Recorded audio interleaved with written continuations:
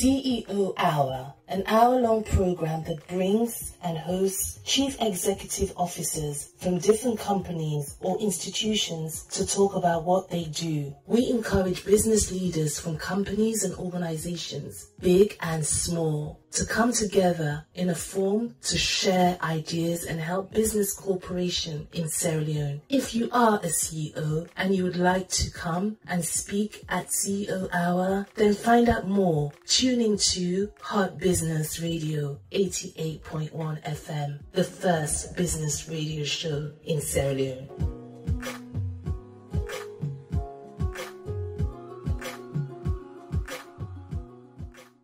Are listening to Hot Biz FM 88.1, the first business radio station in Sierra Leone. Today on CEO Hour, we're here with Mustapha Njie, the Gambian real estate mogul and TAF Africa Global founder, who has announced plans to create at least 25 million jobs across sub Saharan Africa by 2040. TAF is short for Mustapha. In a recent interview with The Voice Gambia, Mustapha unveiled the company's plans to build 1 million homes in sub Saharan Africa by 2040. Mustapha founded TAF Africa Global in 1990 to develop real estate in Africa. In 2018, he created a new mission for the company to develop 1 million homes in the next 20 years. Welcome, Mustapha Njie, to CEO Hour. Please introduce yourself to our audience all across West Africa. Well, thank you very much, uh, Madonna.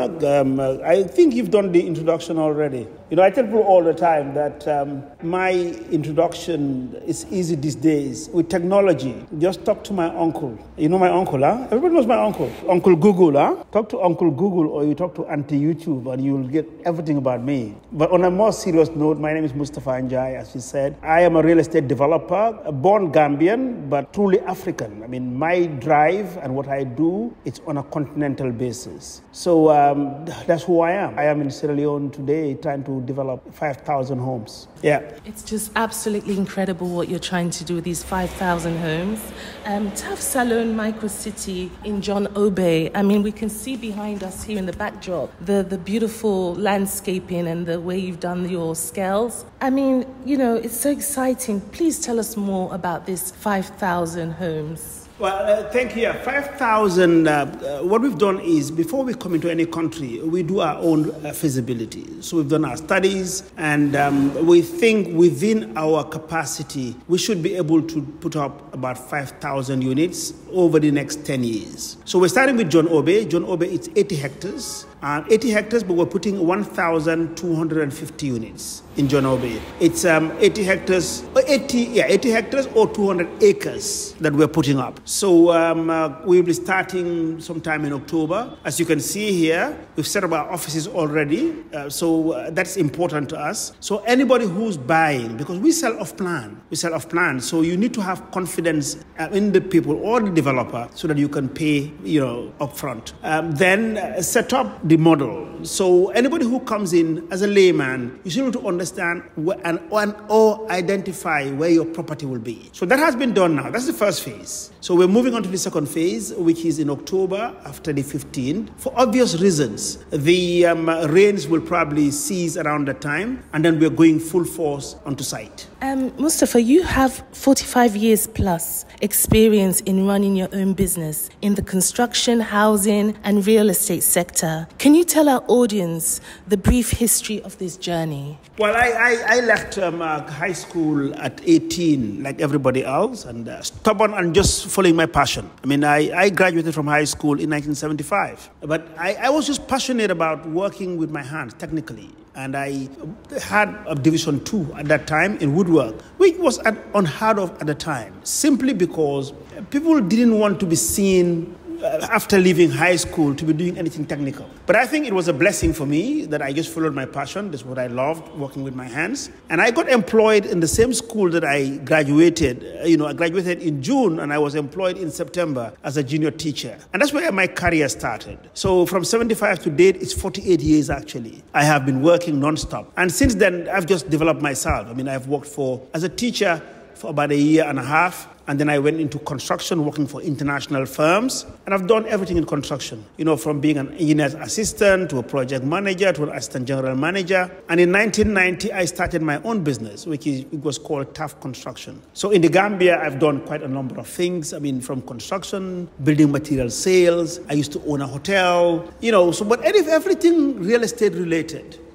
And in 2000, I went full time into real estate development. Started in the Gambia, but see, after that, you know, I found uh, the niche to expand into the sub-region. Um, it's a long story. I've been into so many countries, uh, not only in West Africa, but across um, the continent. Uh, I have been to 36 African countries so far, you know, and um, I have registered my business in nine African countries now. But we're very active in Nigeria, in Gambia, and now in, the, in Sierra Leone. So here we are. There needs to be continuity. I have now developed a team that without me, they will function. And that's what we are out there to do. I mean, I'm 66, so I'm no longer a kid. So, um, but there needs to be continuity. Africa needs to show that we have continuity within businesses that have been set up by indige- um, indigenous. So that's the process that I am in now. You know, after having successfully developed what you can see now, it's the next stage, which is now handing it over to the next generation. Um, you are employing and empowering so many people across African continent. What is your motivation in doing so? I mean, for example, um, this is just a side note. In Sierra Leone, as you can see, there's a lot of Lebanese and Indians and other nationalities that are actually the power base. So it's so refreshing to see an African coming here and, and doing this kind of thing where you're employing and empowering so many people.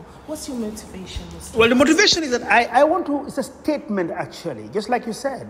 I mean, I've always said that look, if anybody can do it, I can do it. If Steve Jobs can do it, I can do it. Uh, if um, uh, all the big names, if Richard Branson can do it, I can do it. And I think that's something that Africans need to inculcate in themselves. We're seeing Aliko Dangote, for example, in Nigeria. The refinery, oil refinery that he's building in Nigeria is the biggest in the world. It's not in Africa. Yes, it's the biggest in the world being built in Nigeria. And it's a reality. So, I mean, uh, there are some entrepreneurs that have broken the glass ceiling already. And that's the, my motivation that in real estate development, more so in affordable housing, that's where we specialize. So, we are not looking at building luxury and making the biggest of margins. But we want to provide housing for the middle income Africans. So that's my motivation. But in also trying to build houses or develop um, these micro cities and cities, we also want to create employment because everybody knows that you know 60 something percent of the african population are all youthful they're all youth and we owe it to them to provide that opportunity for, them to work so on average uh, every house that is built you know will employ about 25 direct jobs so if you multiply a million homes by 25, that's 25 million jobs that can be created. So that's my motivation, and um, we are on track. Shout out to Wode Maya, Mr. Ghana Baby, Africa's biggest YouTuber, who introduced you to some of us with his show that was titled How a Gambian Carpenter Built Nigeria's Biggest Estate. Please tell us the story behind Reef TAF Golf Estate, where you built 1,100 homes in Port Harcourt. Yeah, um, well, just a point of correction. I mean, it's not the biggest in Nigeria. Uh, but it's the biggest in the south south of Nigeria so far in River State. And um, yes, it's a thousand hundred units or a bit more uh, with a golf course. Um, and um, it was fully developed uh, within seven, eight years. We started in 2012. By 2018 or so, it was all sold out. And now it's fully functional. People are living there. Um, it's a PPP, which is a public private partnership with the River State government. And uh, that's our specialty. In here in Sierra Leone, that's what we're doing too. What was unique about um, the uh, Reef Golf Estate project was that the land was massy. It was all water, just like what you see over there. That's what the swampy, very, very swampy. So we had to sand fill the land, you know, have it all well compacted, then build on it. But this is not new. If you go to Dubai, it's happening. Actually, in Dubai, I mean, the palms and others, what they're doing is they're extending into the sea and develop things. So we can do it. It can be done. Yeah, or they build within the sea. If you go to the banks, you will see that the, the palms are like a palm tree. Uh, so they designed this and then put the sand. Or the world, the world they've created, you know, mini islands, you know, replicating the world, and people will believe on it. So it is something that's doable. So um, yes, this is the story behind the Reef Staff Golf Estate. Again, I was invited by the River State governor at the time, which that's what we do. We don't just get into any country. We get invited for the brand and for who we are. So coming into Sierra Leone, we were invited by the president to come in here. So once we're invited, we do our due diligence, do our feasibility, just to justify that yes, it's doable and there's a demand. And once we are convinced, we move in, and that's why we're here. Um, you once said the formula to success is to work hard and be honest. Can you expand on that? Well, I mean that's pretty simple and very straightforward. I mean, look, no pain, no gain, as they say. I mean, and uh, there's no short route to, to, to, success. And the reason why I said so, the generation that we're seeing now of the young people, they think that, you know, life is built within a day. I have a 48 year experience and working life. So if I drive my G Wagon and you're sitting there at 35, you think you should have it. Easy and short way doesn't give you access to these things. You have to work hard for it. And there's dignity also in doing this. But uh, the youthful population of today don't believe in this formula. So I, and I think that is a formula that is here to stay. If you don't work hard, you will not succeed. And honesty also pays. Honesty is contractual. If you want to buy a house, what we have is that look, I am paying a certain amount of money to you, which is my money's worth for a house. And that I owe you that. That's contractual. So I must be honest for the trust that you have in me to deliver the house that you want. But it's very common that people will pay for something and they are giving less than the value that is intended. It's not only in housing, but across the board. So for the young ones who are upcoming and want to make it in life, for me, that's my advice that you must be ready to work hard and you must be honest in everything that you do. And in most cases, if you do it, you will succeed. That's my, that's my formula. Mustapha, what message would you tell your younger self, that little boy in Banjul? the Gambia, what message would you tell him? Well, I will. Uh, I had always believed in myself. I've always had an innovative mind. I never regretted doing anything uh, that brought me to where I am today. So um, some are unlucky that they don't follow their passion for a lot of reasons. If you come from a traditional family of lawyers, at times uh, your parents just want to see a lawyer being born or remain in the family. So if you were good as a fashion designer, they will not allow you to do it. So I am happy that my family supported me in what I wanted to do. I had always had the instincts of an entrepreneur. From a very young, young age, if I look back of the things that I have done then, if there was anybody who was looking over me at the time, like today, they will see those entrepreneurial skills in me. That doesn't happen these, well, now it happens at times because people are coming, like they're completely getting off their conventional course into what they would like to do. Um, so, uh, looking back at my young age, Mustapha in Banjul, no regrets. I had never regretted doing what I did. Um, there were points where, or times where, one would have diverted one's call uh, because uh, being a carpenter at that age wasn't the thing. I mean, uh, anybody looking Jesus at you.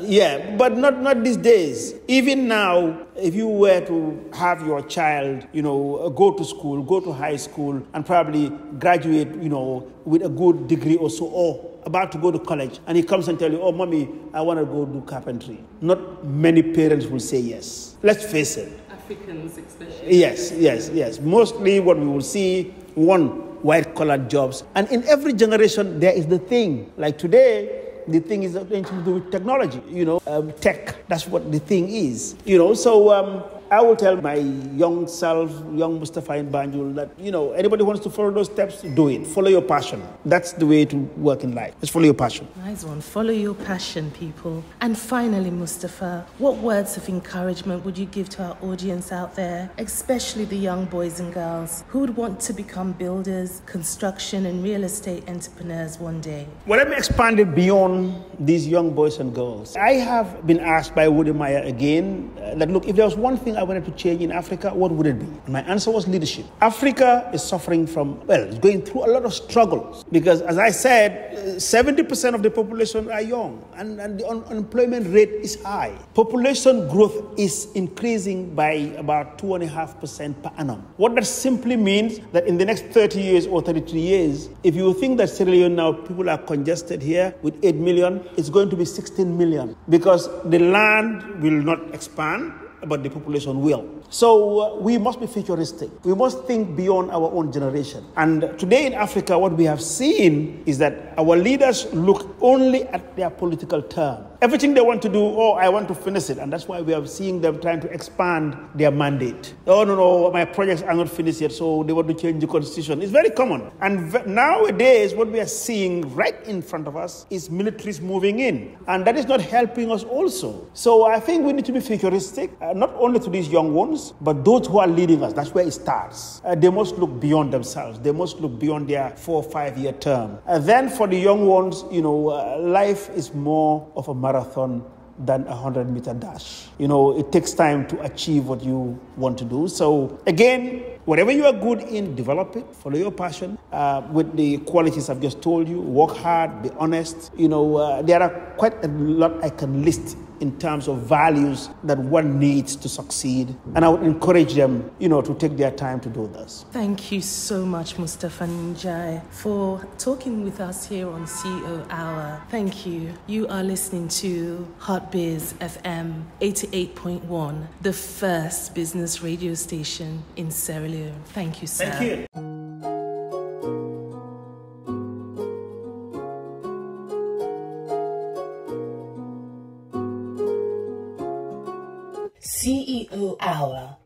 Long program that brings and hosts chief executive officers from different companies or institutions to talk about what they do. We encourage business leaders from companies and organizations, big and small, to come together in a forum to share ideas and help business cooperation in Sierra Leone. If you are a CEO and you would like to come and speak at CEO Hour, then find out more. Tune into Hot Business Radio 88.1 FM, the first business radio show in Sierra Leone.